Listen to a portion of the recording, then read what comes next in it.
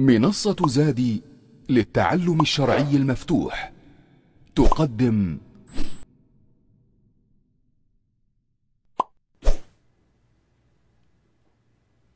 الحمد لله رب العالمين وصلى الله وسلم وبارك على نبينا محمد وعلى آله وصحبه أجمعين. وبعد فاهلا وسهلا ومرحبا بطلاب منصة زادي في هذا المساق الجديد كيف نربي أبناءنا.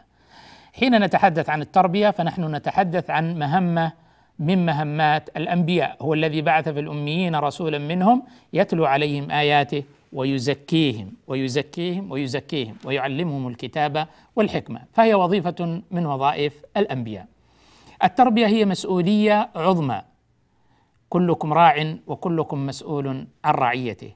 إن مسؤولية التربية وتنشئة الأبناء والبنات على الأخلاق الفاضلة والسلوك القميم والدين الذي ارتضاه الله سبحانه وتعالى أن نرقى بعقولهم وننمي أرواحهم ونبني اتجاهات إيجابية لديهم ونكون لديهم الاتجاهات الحسنة الصالحة النافعة ويسعدون بامتلاك مزيد من المهارات النافعة التي تحقق لهم الغاية التي نطمح إليها نجاح في الدنيا وفلاح في الآخرة.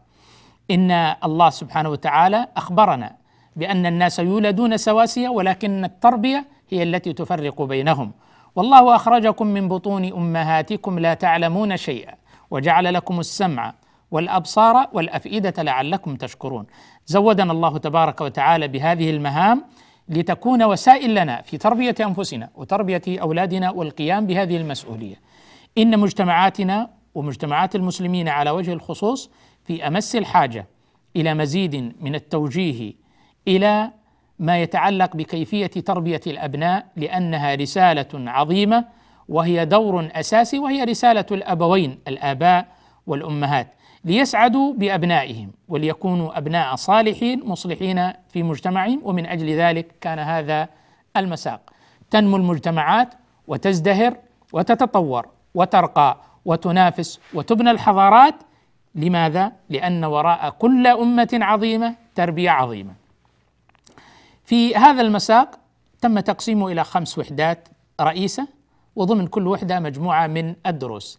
فالوحدة الأولى سنتحدث عن مقدمات في تربية الأبناء وذلك في ستة دروس والوحدة الثانية ستكون في وسائل تربية الأبناء ونتطرق فيها إلى ثلاثة دروس وفي الوحدة الثالثة نتحدث عن مسؤولية المربي أبا كان أو أما أو معلما وفيه أربعة دروس وفي الوحدة الرابعة نتحدث عن نوع خاص وهي التربية الخاصة وفيها أربعة دروس ونختم هذا المساق بالوحدة الخامسة عن مشكلات في تربية الأبناء وفيه خمسة دروس.